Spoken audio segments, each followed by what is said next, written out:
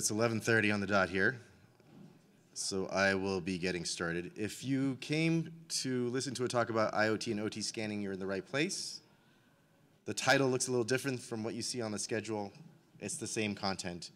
I just really wanted a cool picture to start with, so I changed the, the title of the talk.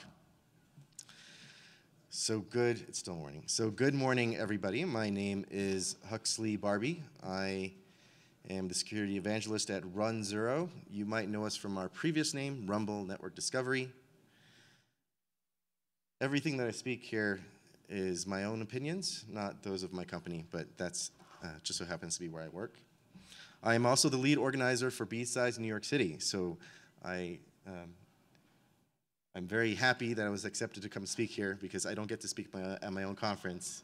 I have to fly around to, to, to be able to um, share my own ideas. If you want to connect with me, uh, those are the links down there. So when we think of compute, our minds often go to laptops and servers and databases, and these are what we call IT devices. But this only represents a very small percentage of chips that are manufactured. In fact, I saw a statistic the other day that says that 90% of chips go into embedded devices. Some of these embedded devices are IoT devices, which range in a huge, huge variety. We often like to joke that these days even coffee mugs and lava lamps are on the network somehow. But IoT devices also include run-of-the-mill stuff like your printers, home automation like your doorbells, power supplies, as well as IP cameras. And some other of these embedded devices are what we call OT devices, operational technology devices, that operate our factories, our oil refineries, our gas pipelines and um, water treatment plants and all sorts of areas that our government considers to be critical infrastructure and key resources. So two points of clarification here. Throughout this talk, I'm going to use the term OT as a synonym for ICS, Industrial Control Systems. So if you hear me say OT, you can also automatically translate to ICS if you like. And the second one here is that you'll notice I have a medical device. Medical devices are often called IOMT, Internet of Medical Things. So you might think it falls into the IoT bucket. Many of us would think that. But due to the way they are used, their usage patterns and their roles and how long they are kept uh, in operations, IOMT devices, medical devices, look a lot more like OT devices, and so they're in the OT bucket, right? In this talk, obviously, we're going to focus on IoT and OT. Most of us are not familiar with OT, right? If you're like me, you started out in IT. And so I'm going to go over what that is first.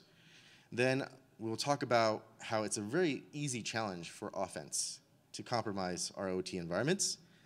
Then I'll briefly talk about what people are doing right now in terms of defensive scanning. And then I'll talk about the novel idea of this talk, which is you know, actively scanning in, in OT environments. And then finally, we'll jump over and talk about IoT. So even though many of our OT environments are considered critical infrastructure and key resources, they are shockingly unprotected. But when I say OT device, what do I really mean? So let's have a look. There's a huge, huge variety in OT environments. So it's not like IT where um, people have stock PCs and Macs and all the, the parts are sort of modular, um, you have modular components.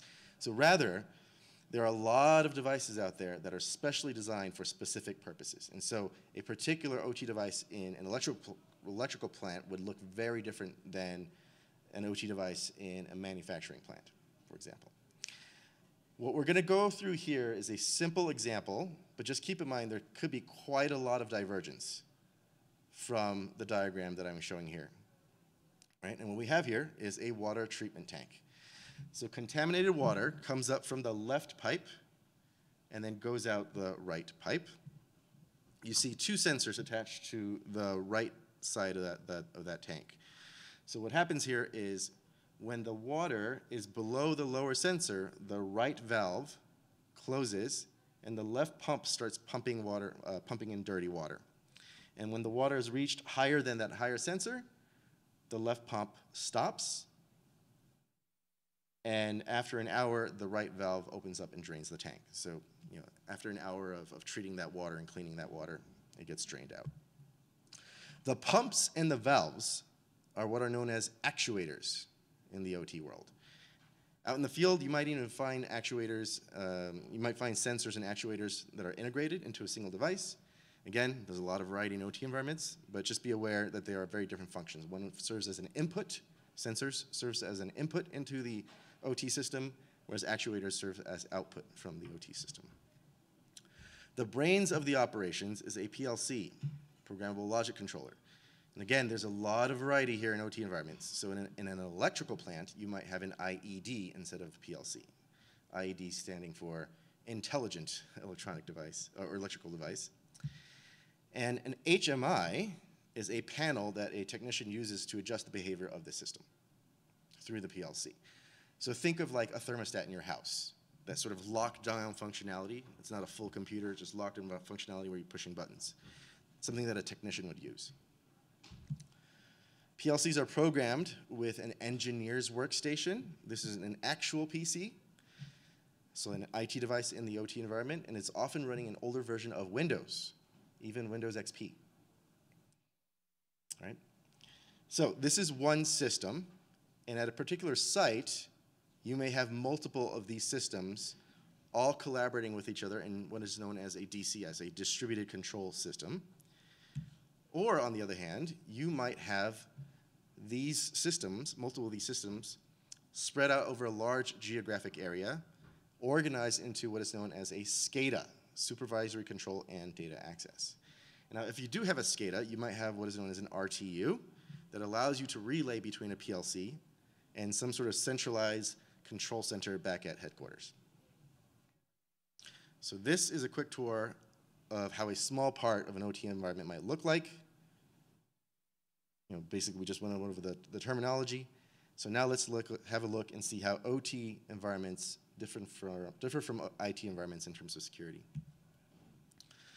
In IT, we are concerned about the move, movement of data or restricting the movement of data. In OT, it's about moving widgets and gears. In IT, uh, IT device vendors, they produce products with planned obsolescence. They expect you to replace your computers and your tablets every three to five years. But OT devices tend to be deployed and remain for a much, much, much longer time. Conventional wisdom in our industry says that the three pillars of concern for security are confidentiality, integrity, and availability. And arguably, personal opinion here, uh, with IT environments, confidentiality tends to be more important. So if you think about it, an e-commerce site, if it goes down, it's unavailable, the company might lose money, but they're not getting sued. On the other hand, if this e-commerce company loses customer PII, they're going to get sued, right? So confidentiality is relatively more important, in my opinion. Now, on the OT side, availability is absolutely the most important thing, right? And there's a couple of reasons for this. Let's say this is a commercial organization, oil refinery. Every minute that the plant is down, they are losing money. So their interest in availability is based on the impact to the business in material in, in, in real dollars. Also, many of these critical infrastructures can face fines for an outage. So when Colonial Pipeline was hacked and they were not able to move gas around, or natural gas, yeah, uh, they were fined by PHMSA for $1 million for an outage. It wasn't their fault. Or, well, maybe it was their fault, but they got hacked, right? um, and they were fined because of the outage. So availability is so much more important uh, for commercial organizations for that reason. Now, if this is a government or organization or a quasi-governmental organization, like a municipal water treatment facility, there are politicians in power who want to avoid the bad press of having an outage. So depending on the type of organization, there is concern for availability, but at the end of the day, that is the most important concern in OT security, more so than confidentiality. Nearly all IT devices have one of these operating systems, which are all time-sharing operating systems. In OT, you find a lot of real-time operating systems instead, and there are so many more of them. OT devices are programmed with languages like ladder diagram, functional block diagram, and, and so on and so forth. And OT devices are almost never updated or patched. Go back to the idea of availability. These organizations do not want to shut down these devices for any reason. They don't want to shut down for updates or patches, and they definitely don't want they definitely want to avoid the possibility of a longer outage because of an update going bad. Now, here I say IT is secure by design, and some of you might, might laugh at that, and I, I don't totally disagree with you, but when compared to OT, IT devices are secure by design. With OT field devices, actuators, and sensors, there's just absolutely nothing. There's zero. The moment you have access to a PLC, you own those field devices. Another concern here is that OT traffic is almost never encrypted. So traffic interception and modification, person in the middle, that is totally a thing with OT. Many OT devices do not require authentication even. And even if they do, there's usually no governance around remediating default passwords, default users, default, default settings, and so on and so forth. So basically, once you get access to the PLC, you own it. You own all the field devices that are attached to it. IT devices these days tend to have endpoint protection, EDR, host-based firewalls, or they're being scanned by a vuln scanner. In OT, some of the industries have started introducing uh, endpoint controls, security controls, but in many of the industries, there's just nothing whatsoever. Traditionally, IT devices are the ones that are somehow connected to the internet, right? Through your cable, through your wireless, somehow connected to the internet. But OT devices were kept physically separate. And this sort of explains why people thought it was okay to not have endpoint protection and to not have authentication and, and how like um, for, for traffic to be unencrypted and so on and so forth. Because in order to compromise an OT device, you had to walk up to it. Traditionally, OT networks had their own protocols, but starting around 2005, you started seeing more and more of these OT networks to get getting overlaid on top of IP networks, thereby reachable from the internet. So you have a whole history of lack of security in OT, and it was okay because everything was air gapped at one point, but starting 2005, that sort of protection of isolation just sort of went away. And we have a new reality to deal with. What you're looking at here is called the Purdue model, and it shows an ideal model of what an OT network should look like, where there are different levels of risk and controls that are stratified for the sake of security. You'll see here that sensors and actuators, sensors and actuators are down at the bottom in level zero. PLCs, also known as field controllers over there, are in level one, and you see HMIs in layers three, two and three. In Purdue, each layer is only supposed to communicate, or devices in each layer is supposed to only communicate with devices in the adjacent layer. You're not supposed to be able to go from one to three. You go from one to two, one to zero. You don't go one to three, one to four. Between each layer, there's supposed to be one of two things. One, physical separation, air gapping which is good, but keep in mind, Stuxnet was a very good example of how an attacker was able to bridge that air gap through a USB key. So not foolproof. The second one here is some sort of network security control that adjudicates access between layers or um, communication going across boundaries. That could be a firewall, it could be an IPS, or, or what have you. In reality, though, very few organizations ever fully achieve Purdue. In fact, notice how, um, in fact, if you were able to infiltrate the higher layers of Purdue, a secondary attack into the lower layers is shockingly easily. Notice how in the upper layers, it's very IT-ish, right? We're looking at, you know, web service and so on, so things that we would see in IT while the lower layers are more, uh, more OT. Compromising devices gets easier and easier as you move down this stack. So basically, once you get in from the top, if you can infiltrate to the top, it's pretty much a no-brainer for you to get to the bottom. And once you do, you move swiftly to layer one, to the PLC, and then you have access to the crown jewels in layer zero. Sounds easy, right? What if I told you it's often easier than that? Wouldn't it be easier if you could just skip through all those top layers and go right to layer one over the internet? Well, the answer is yes, it would be a lot easier, of course. Remember, no organization truly implements Purdue.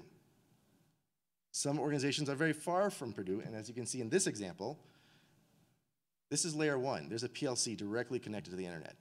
You can skip through layer six through two, go right to layer one. And once you get to layer one, you own layer zero, right?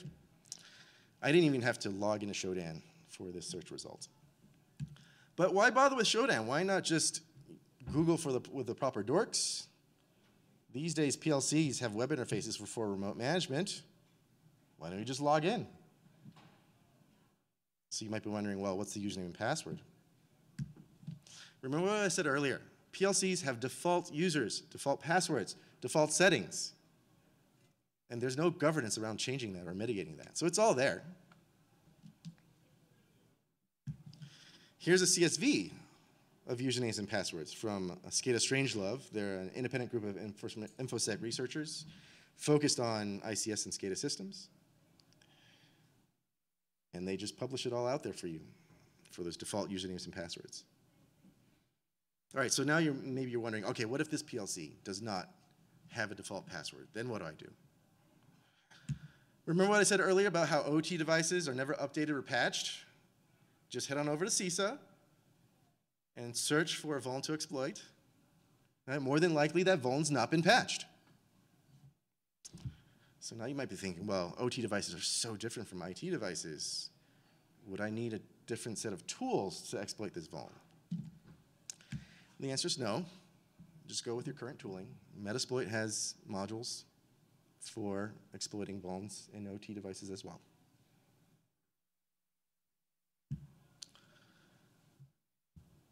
I think at this point, some of you might be thinking, I should really think, uh, rethink my plan to go off the grid, or at least be prepared. Uh, but I, am hoping to also impress upon all of you that there's a problem with our critical infrastructure and key, re key resources.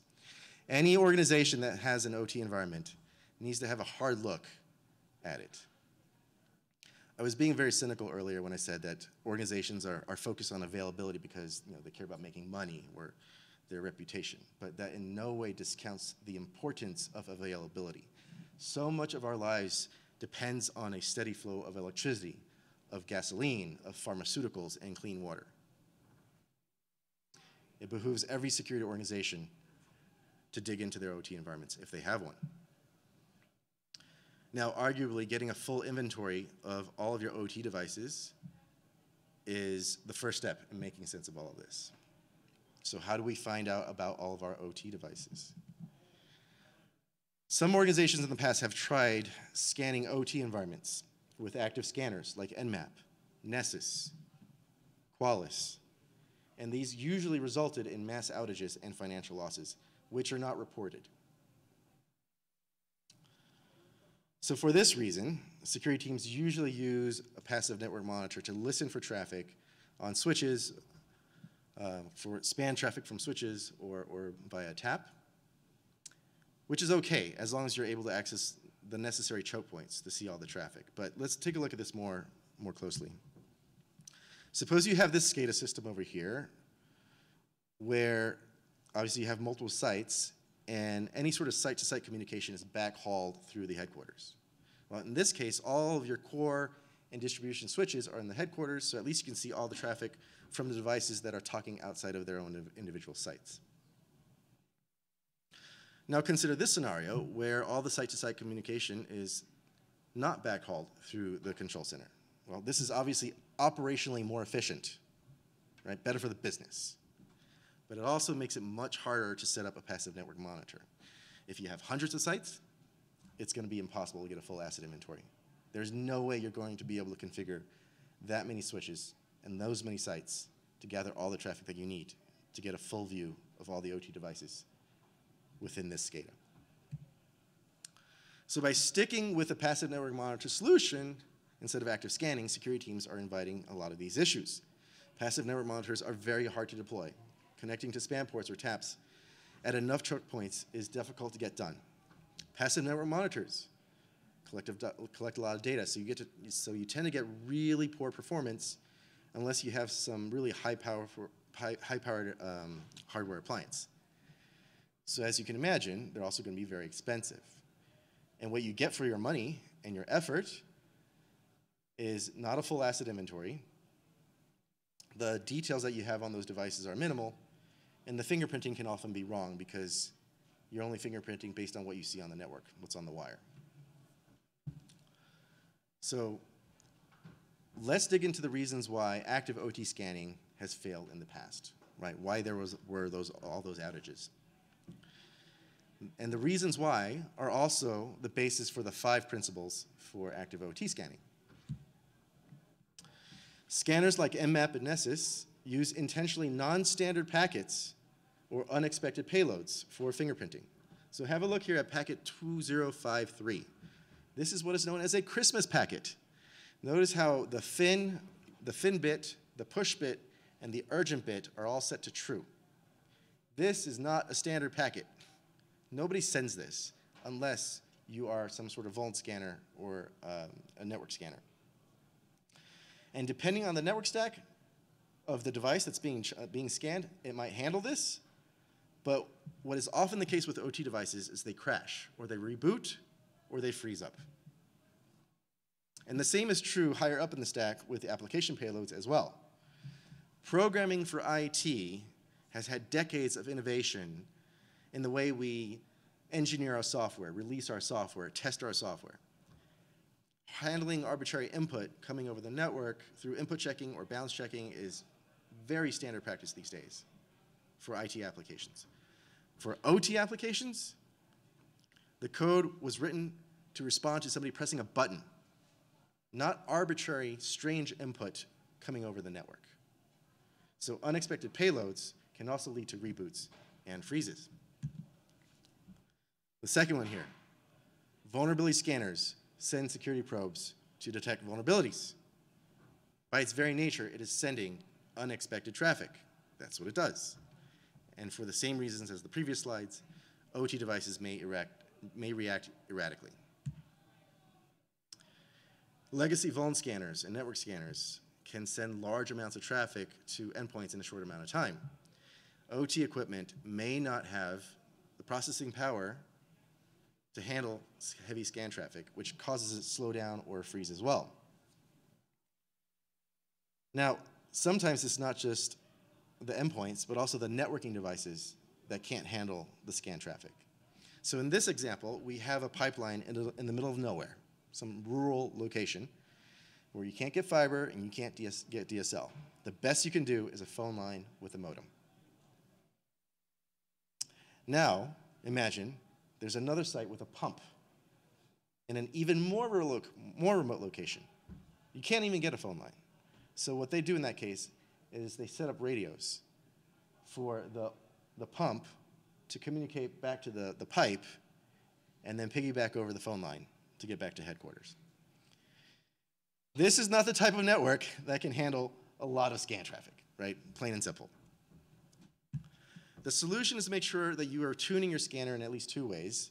First is by dialing down the number of total packets per second from your scanner. And the second one is to spread out that scan traffic as much as you can across multiple devices.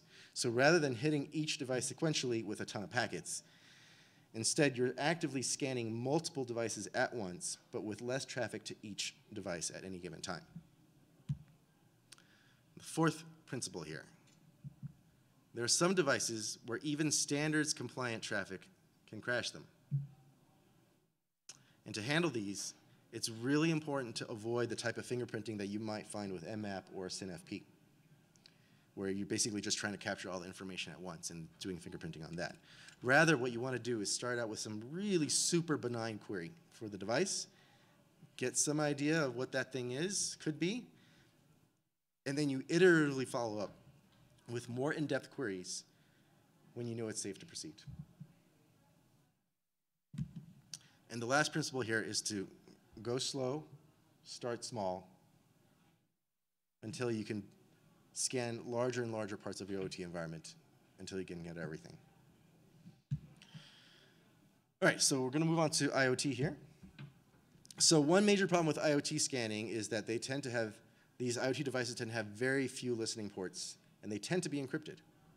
So when you all, all you see is an SSH port and an HTTPS port, it's pretty tough to figure out what that thing is, right? And so for that reason, naive scanners often identify IoT devices as Linux machines. Can't tell the difference. It can't tell you if that's, that's truly a coffee mug or if it's, if it's an uh, IP camera instead. It all looks like Linux. If you start digging a little bit deeper, right, maybe looking at MAC addresses, you might be able to see the IoT platform that the device was built on, right? Uh, Raspberry Pi or Espressif, these are two common IoT platforms. But you're still not really getting a really good sense of, of what that thing is. Fingerprinting IoT often involves this painstaking process of looking into the payload to find model-specific information that tells you what the thing is. And oftentimes, this means contacting, contacting the device via HTTPS, parsing the payload, and looking for telltale signs that give you some sort of indication. Aside from being really hard to fingerprint, many IoT devices are also prone to disruption, just like OT.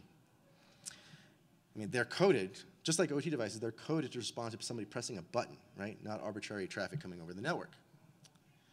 And again, like OT devices, um, these, some of these devices, some of these IoT devices will behave strangely even with standards compliant traffic, right? Um, examples of this include serial to Ethernet adapters or, or print servers. In fact, um, there are some printers out there where if you send a certain, uh, certain characters over a port 9001, it starts spewing paper out of, uh, of, of, of, the printer. It doesn't print anything, but it just starts spewing paper, spewing paper until like you run out of paper. So you might be thinking, well, maybe this isn't such a big deal, right? Disrupting the, your network-enabled coffee mug just means you get a bad, bad cup of coffee, right? So who cares? Well, I think it's important to keep in mind that many of these OT devices are definitely valid attack vectors into our homes and our businesses with real, real impact to, to privacy, right? And it's no surprise that many of these devices are restricted under the National Defense Authorization, Authorization Act, Section 889, right? Uh, Chinese devices, if you will. And they're, they're very much a real threat. So, and I, I, I personally know of one organization that found an IoT camera that was making a network connection uh, to an IP address in China, even though that organization did no business with anybody in China. And I'm sure there are plenty of instances of that. You know, this is just the one that I know about. So it's important to get out there and know what is on your network. And the good news is the same five principles that we discussed for OT also work for IoT. I have time for one question, if anybody has. Yes, please.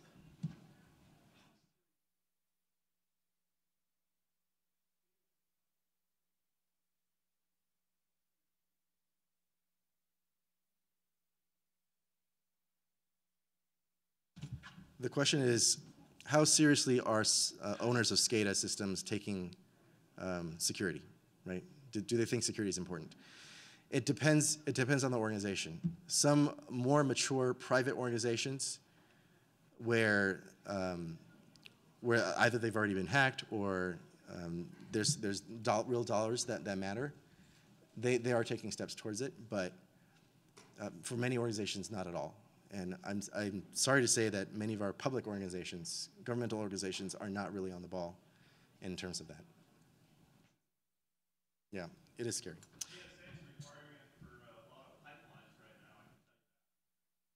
Yeah. Things, things are changing, obviously, but you know, it's, it's not where you want it to be. Not where you want it to be. All right, so I'm going to leave with you all with a parting thought here. There was a time where you wouldn't do any of these things, but now you get into Ubers. You might have a Tesla that drives itself. You may have bought crypto, and, and you all work from home at some point. So maybe it's time to consider actively scanning your OT environments. If you want to contact with me or connect with me, this is how you can do it. Thank you, everybody.